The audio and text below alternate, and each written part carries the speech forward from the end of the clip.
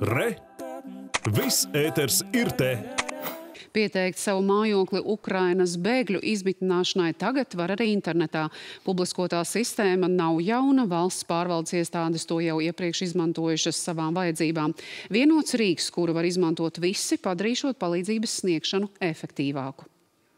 Līdz šim mēs izmantojam tikai iekšienē, lai tā kā apkopot šo informāciju gan par nepieciešamību, gan par nu, tādu kā uzskaiti ar jebkuru Latvijā identificēšanas elektronisko rīku, jūs varat pieslēgties šai programmai, lai varētu, kā privāta personā, pieteikt savu mājokli izmitināšanai Ukrainas civiliedzīvotājiem.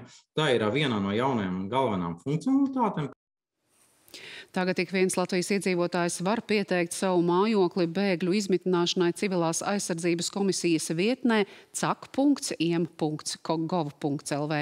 Šajā pašā vietnē pašvaldības varēs reģistrēt lēmumus par atlīdzības piešķiršanu par bēgļu izmitināšanu.